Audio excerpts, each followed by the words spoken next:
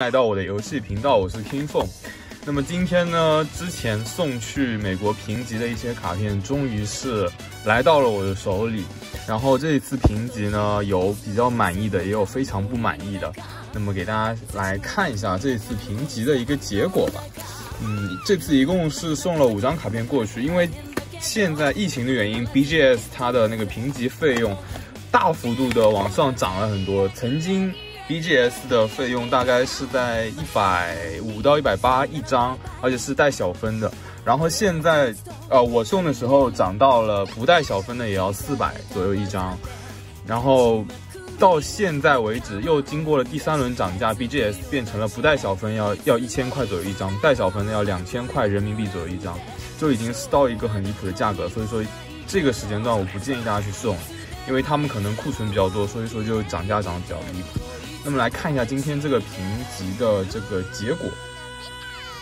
啊，首先的话呢，是我们 LP 时代的啊凤凰和洛基亚，这个是在 L 时代发行的 Promo Card，然后是各限量发行了一千张，然后也是非常非常稀有的卡片了。首先是这张洛基亚，评到了一个八分，然后是这张凤凰，评到了一个八点五分。然后这两张卡，我个人觉得是非常非常好看的。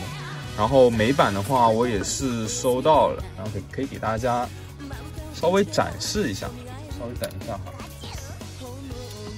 呃，可以看到，这是我们美版的，它的闪法是不一样，美版是全图闪的，然后日版的话呢，边上是一个 L 时代那个黄边，各有各好看的地方，黄边其实也蛮不错的。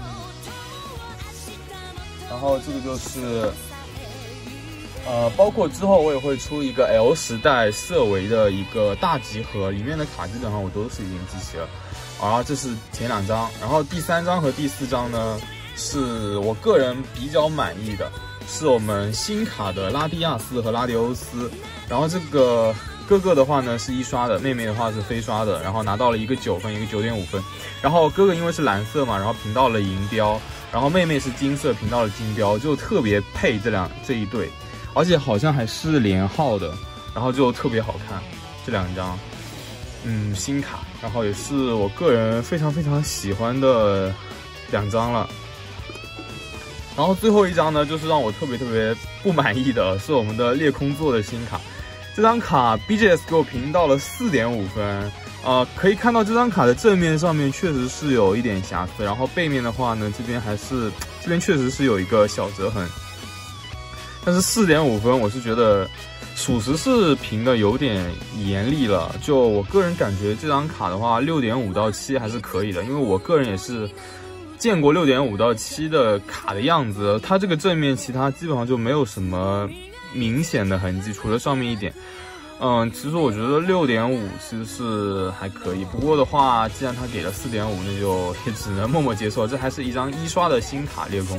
这张卡如果在十分的话，九九点五分的话，这张卡都已经要到，嗯，差不多五万人民币吧。